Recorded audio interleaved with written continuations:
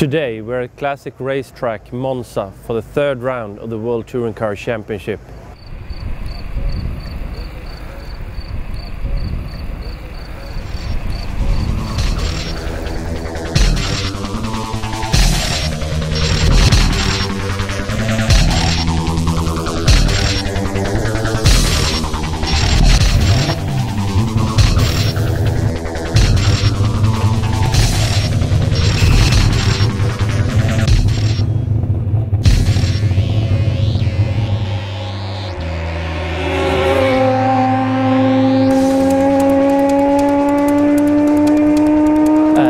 Monza is obviously a, a tremendous track and it has a lot of history. It's a, it's a classic ground and you can feel it's just in, in the air and just walking around the, the old banking in, uh, in the evening is it's a great feeling for a racing enthusiast.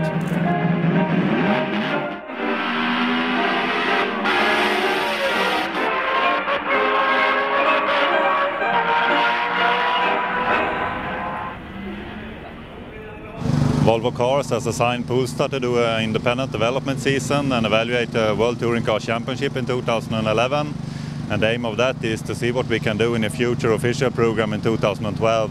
And what we look at is, uh, on the other side is the marketing side, on the commercial side, what we can do in the different cities, event, hospitality and stuff like that. And we develop the car during the year. We learn as much as we can of the track because it's a big difference to the Scandinavian track that is twisty and in Europe it's really fast tracks.